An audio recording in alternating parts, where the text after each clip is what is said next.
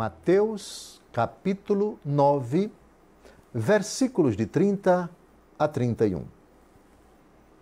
No mesmo instante, os seus olhos se abriram. Recomendou-lhes Jesus em tom severo: Vede que ninguém o saiba. Mas apenas haviam saído. Espalharam a sua fama por toda a região. Jesus pede uma coisa, a eles, não conte para ninguém, e eles desobedecem a Nosso Senhor. Por que isso? Eles reconheceram que Jesus era o Senhor e que tinha poder para curá-los. Jesus lhes faz um pedido e eles não atendem ao pedido de Jesus.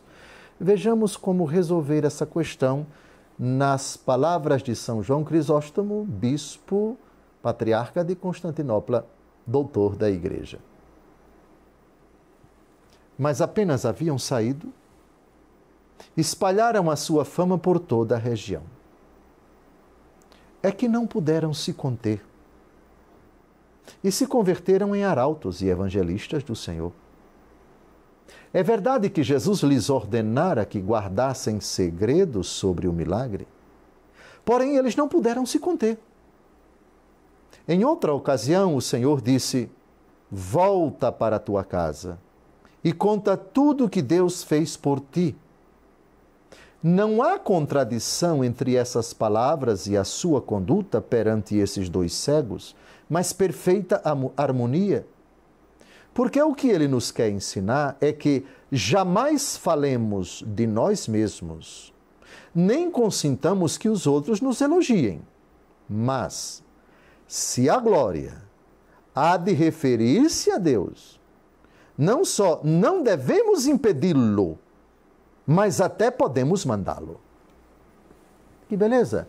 São Paulo, no final da 1 aos Coríntios, capítulo 1, diz o seguinte: Quem se gloria, glorie-se no Senhor.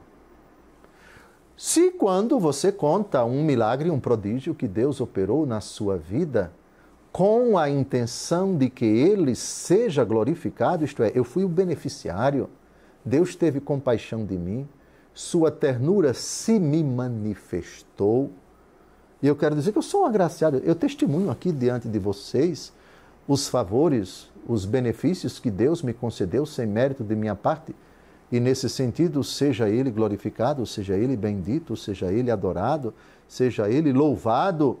A glória é para Ele, a honra é para Ele, o louvor é para Ele. Nenhum problema. Lembramos também aquilo que eu disse no vídeo anterior, na aula anterior, no, no encontro anterior.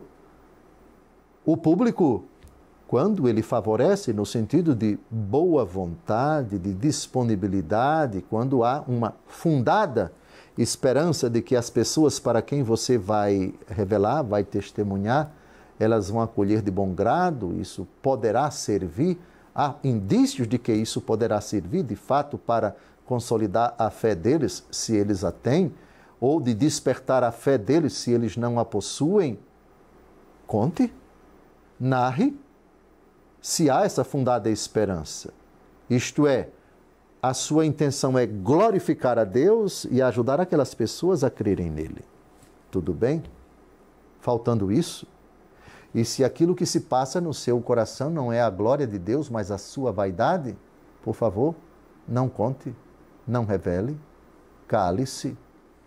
Assim Jesus diz aos miraculados agora, aos dois cegos, não contem nada a ninguém.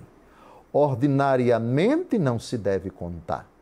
Mas o texto aqui citado por São João Crisóstomo, que foi pontuado no programa anterior, ao possesso, aos possessos de Gadara, vão para casa. Você vá, proclame isso para sua família, conte para todo mundo.